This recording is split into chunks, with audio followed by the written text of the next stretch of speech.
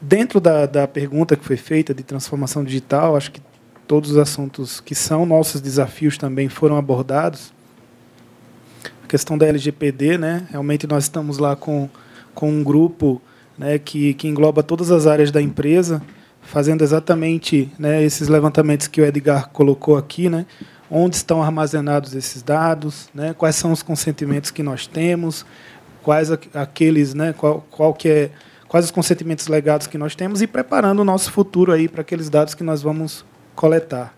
E temos um desafio enorme ainda pela frente, né? A gente está bem, bem no início desse processo. É, no tocante à identificação né, do, dos nossos clientes no ambiente digital, dentro da transformação digital, já foi colocado aqui por alguns, né, alguns de vocês em relação a, ao certificado.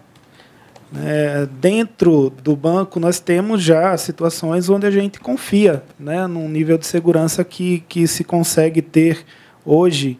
É, em, a gente tem exemplos aí em, em vários bancos comerciais.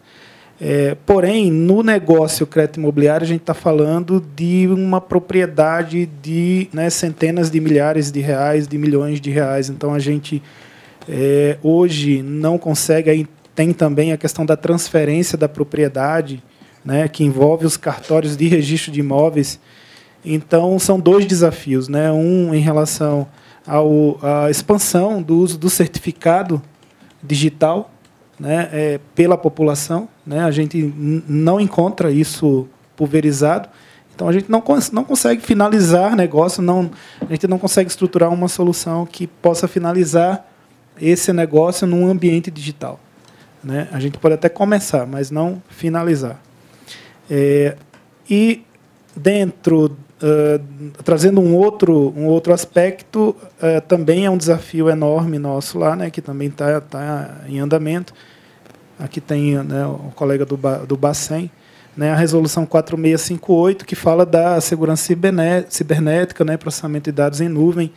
Nós temos uma série de adequações, né, uma política que está sendo implementada no banco, e inclusive também no negócio crédito imobiliário, nós temos uma parceria forte com a Unisys, inclusive, né, onde precisaremos fazer algumas adaptações né, para nos adequarmos né, a essa resolução, a essa política de segurança cibernética que o banco está implementando a partir dessa regulamentação do Banco Central.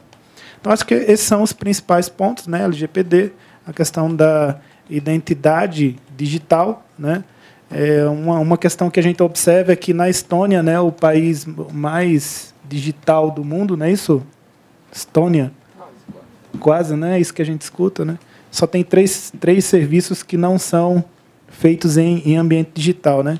que é casamento, divórcio e transferência de imóvel. Então isso nos desanima, né, para o negócio de habitação, mas